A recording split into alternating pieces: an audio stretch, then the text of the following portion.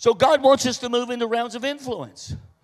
I mean, I heard the Lord, some of y'all have heard this, but 30 years ago, I heard the word of the Lord as I was praying when, in a setting where the weight of God's presence was there, and I heard God say to me, not I wasn't trying to hear something, I wasn't thinking about myself.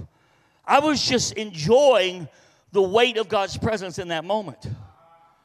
And God spoke to me, and He said, I will make your name as one of the great men of the earth. Now, here's what I thought. I would just about two or three years before that birthed a church. And so this is what I immediately thought. Oh, this church is going to become really large and everybody's going to know who I am. Well, guess what? That never happened. And so time progressed. And every time an opportunity would come or a door would open, I would think, oh, this is the way God's going to fulfill that word. And it never happened. In fact, many times I would be promised things that I would think this is the way God's going to do it, and then that thing that I had been promised would, not even materialize. It would just be, it would, it would be sabotaged somehow or another. I remember after I'd written the book on operating in the courts of heaven, the first one, Charisma contacted me because somehow or another they know what's selling out there. Because my daughter, it was a self published book because nobody would publish it when I wrote it. And Dutch Sheets told me, he said, the reason they won't, re- they won't publish it is because they're afraid of it. And so he said, and so he had told me that. He said, and he told me this is a really good book. He said, You're actually answering questions for me that I've had myself that I didn't know what the answer was. So, so it, you know, it, it, people, there were people that were saying good things about it to me, but nobody would publish it. So what happened was my daughter, she was doing my, you know, helping me with administration. She sold 100,000 copies of that book out of her garage. Now, that's a lot of books to go out of a little garage. And you might just do the math and might figure out why God, you know, how I say God has blessed us. So, so, so she sold 100,000 copies out of her garage, and it got so overwhelming that we were trying to handle it that, that, that uh, people started coming and asking, could they acquire the book? And Charisma was one of them. Charisma wanted the book. And so they, they had emailed the office, and my daughter called me all excited because she said, Dad, because nobody would give me the time of day. I remember Dr. Wagner, Peter Wagner looked at me one day and he said, Robert, you've got to get these books published. And I said, Dr. Wagner, they won't publish them. I mean, he was angry at me. And I said, But I don't know what you want me to do. When you publish a book, they've either got to know your name or they, have got to have an, a, an awareness that, that, that you're somebody that somebody's going to pay attention to. Well, nobody would give me the time of day. So I was just doing what I did. My daughter called me. She said, Dad, charisma wants your book. It was like, oh my gosh, somebody actually wants something I have. But see, I had been so disappointed so many times for 30 years that I said, oh, okay. And she could tell I wasn't excited. Now, why wasn't I excited? Because I had been disappointed so many times that I was filled with hope deferred.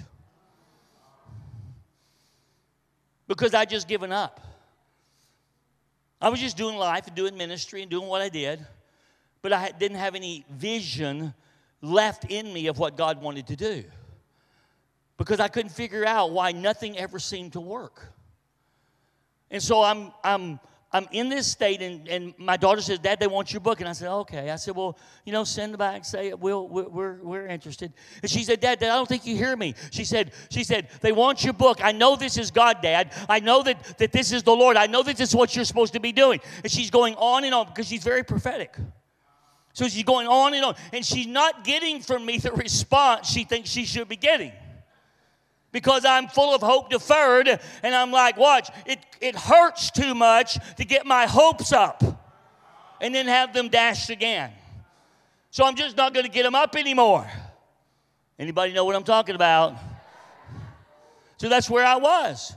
So she's going on and on. Dad, I know this is God. I know this is what He intends. Come on, Dad. We got we got to do something about this. And and then she said this as she is going on, trying to like get me excited. She says these words. She said, Dad, I know this is God. She said, I've always known you would change the world. It was like a dagger into my heart because I suddenly realized my daughter had hopes and dreams for me that I had given up on. And I said, God, you're going to have to heal my heart because all the disappointments, it's turned me into a pessimist, it's turned me into a skeptic.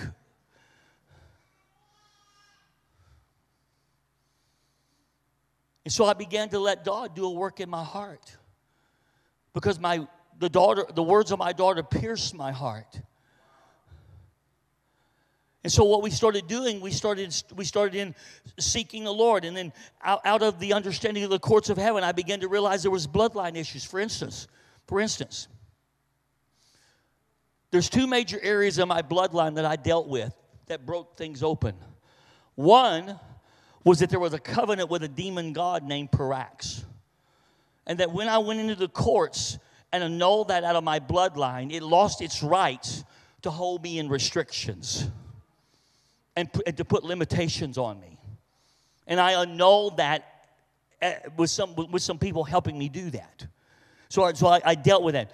But then there were still there was there was breakthroughs that started coming but then there were other restrictions that seemed to be still on my life that i couldn't seem to get into i couldn't seem to move into the to, in, into the you know those those new realms those new places that god had and all of a sudden, I have a dream. And in the dream, there is a judgment against me presently because my great great grandfather had, through negligence, injured somebody. This was the dream. And the dream was so real that, that I thought, I thought, this is, this is like a real thing in, in the natural. And I woke up and I woke up terrified because I thought there's a literal judgment in the natural against me. You ever have one of those kind of dreams? Or, or at least wake up with, with a sense of it being so real, even in the natural. That's what was going on. But as I got awake, I, rolled, I realized, oh wait, wait, this isn't this isn't in the natural. It's real, but it's not in the natural. And I began to realize that God was was was showing me something in my bloodline that was being used as a legal right to presently, uh, uh, re- uh, resist the future God had for me. That, there, that my great great grandfather had, through negligence, done something that had damaged somebody. And suddenly the Lord spoke to me. He said, Your great great grandfather, through negligence, he said he injured somebody and stole their dreams away. Therefore, the enemy has claimed the legal right to steal your dreams away. And so I got up and I immediately went, if you will, into the courts of heaven, began to repent for the sin, the iniquity of my great great grandfather, which obviously I never knew. Don't even know what his name was, honestly. But I just began to repent as God is my witness. In a week or less, doors started opening that have not stopped up to this very point.